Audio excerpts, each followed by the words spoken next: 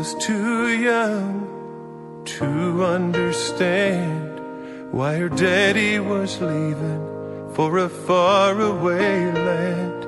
All she knew about war was what she saw on TV. Soldiers were dying, and she was scared as could be. So the day that he left, she hugged him. Said, I'll say this prayer for you every night.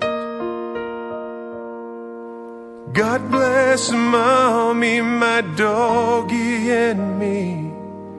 Bless everyone in my family. God bless our country and whatever you do.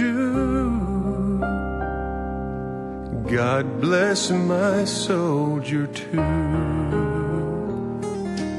Most every day she sent letters from home to tell him she missed him and how much she'd grown. She'd say she was proud of her G.I. Joe.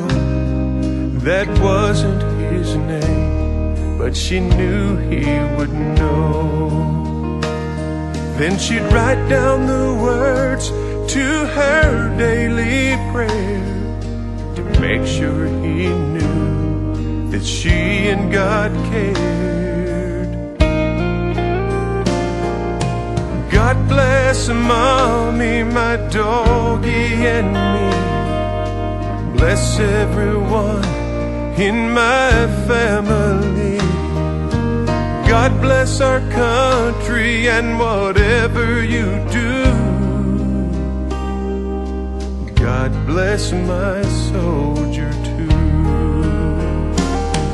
Will the days turn to months and the months to a year?